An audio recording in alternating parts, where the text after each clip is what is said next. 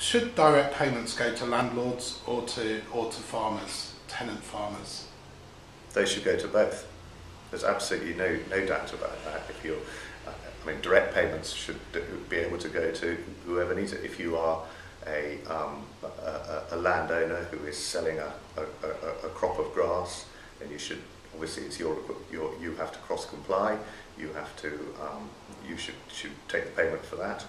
Uh, but if you're, if you're a landlord who is in a, a, a, tenancy agreement, then the, the tenant who occupies and controls the ground should, should take the payment. It's perfectly um, clear that.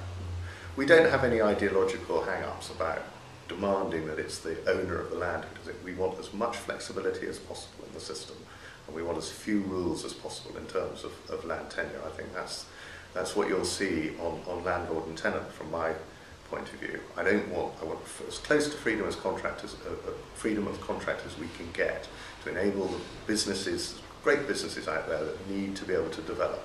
And I think we'll always oppose anything that's going to be a barrier to developing farming businesses and the relationships between landlords and tenants, sorting stuff out to, in a way that suits both of them.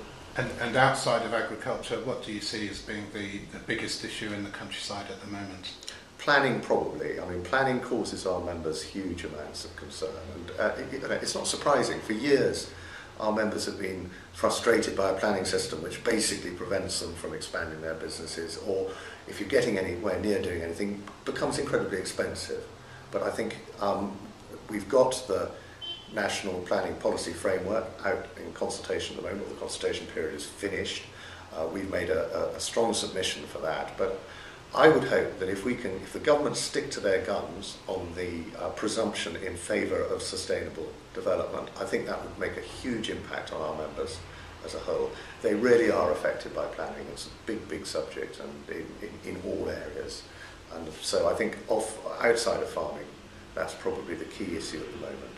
And you, reject the suggestion from some quarters that uh, the, the national planning policy framework will lead to concreting over the countryside? Completely, completely. I, I, I, I don't know where that comes from because um, you know, everything I've read says this, but actually at the end of the day, it, it's a presumption in favour of sustainable development.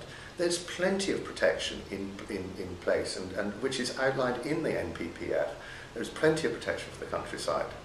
Um, this is a presumption in favour of sustainable development. And I mean, how you get from that to concreting over the countryside is completely beyond me. It's a link I can't make.